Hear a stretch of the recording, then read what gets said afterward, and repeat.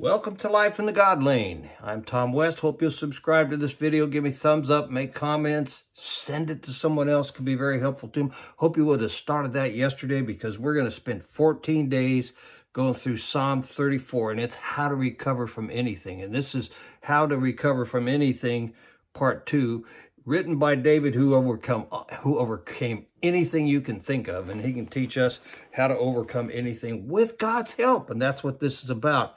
And this is for Tuesday, November 16th, 2021. It's Psalm 34, verse 2. Just one verse, but listen to this verse. It is powerful. He says, My soul will boast in the Lord. That's the first part of the verse. Your soul is your life. It's the your inside that gives you life. His soul will boast in the Lord. He's going to boast in the Lord because he looks to the Lord to pull him through whatever he needs to recover from, whatever challenge he faces.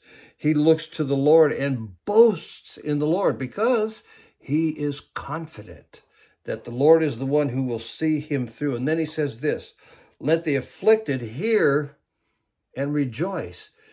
He's thinking that he's going to be afflicted with difficulties. We all are afflicted with difficulties.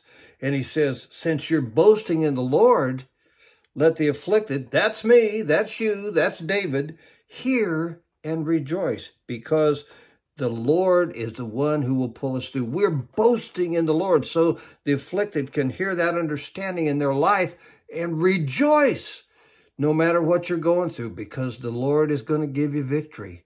So hear the boasting when you're afflicted, when you're not afflicted, and rejoice in the Lord. He will see you through.